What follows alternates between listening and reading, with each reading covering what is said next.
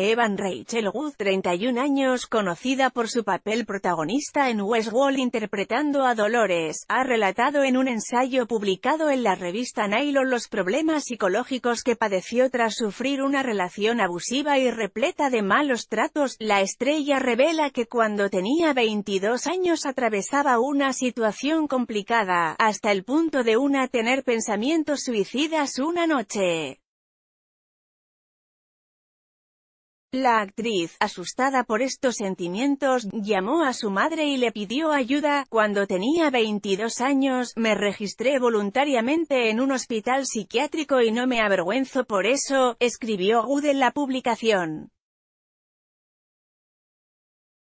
Sin pensar, descolgué el teléfono, mamá, soy yo. Intenté suicidarme. Necesito ir a un hospital, G3. Cuando dije que necesitaba ir a un hospital, no quería decir que tenía que ir por una lesión física, aclara la intérprete. Me refería a un hospital para mi estado de ánimo. Sara Carbonero explica el problema de Iker Casillas con el dinero.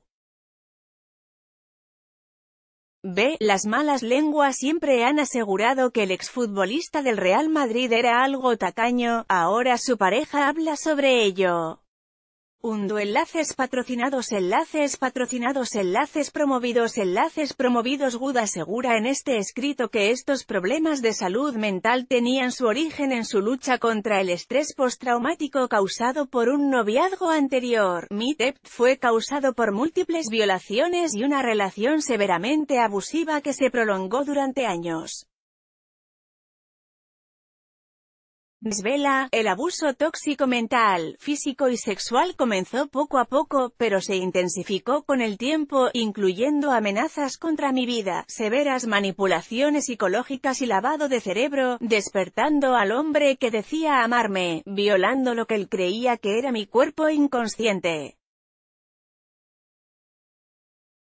Rachel ha tenido varias parejas a lo largo de su vida, con Marilyn Manson, 50, entre 2007 y 2010, estuvo casada con el actor Jamie Bell, 32, entre 2012 y 2014, con quien tiene un hijo en común, salió con la actriz Catherine Moennig, 41 y más tarde se comprometió con el actor y cantante Zach Villa, relación que terminó en 2017.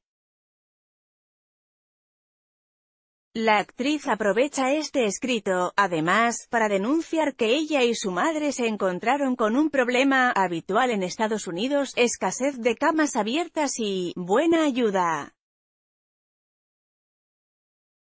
Necesitaba encontrar un lugar que tuviera los tratamientos adecuados para mí y que pudiera llevarme de manera inmediata y discreta, explicó. Es más difícil de lo que crees.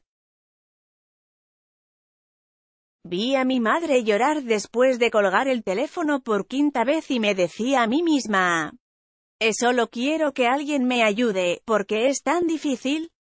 Tras encontrar un hospital que cumpliera con todos sus requisitos, Good adoptó un seudónimo para proteger su privacidad.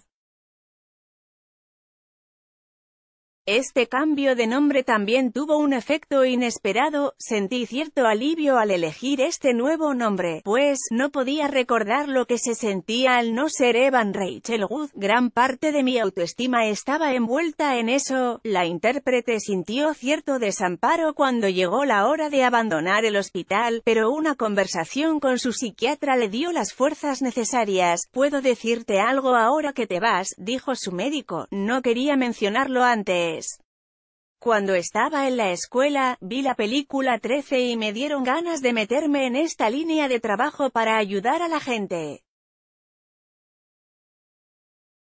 Eres la razón por la que estoy aquí, escribe, esta revelación fue un aliento para la actriz que hasta entonces se había sentido inútil, como si el mundo fuera mejor sin ella, según sus propias palabras, pero resultó que me había ayudado a mí misma de una manera que nunca creí posible.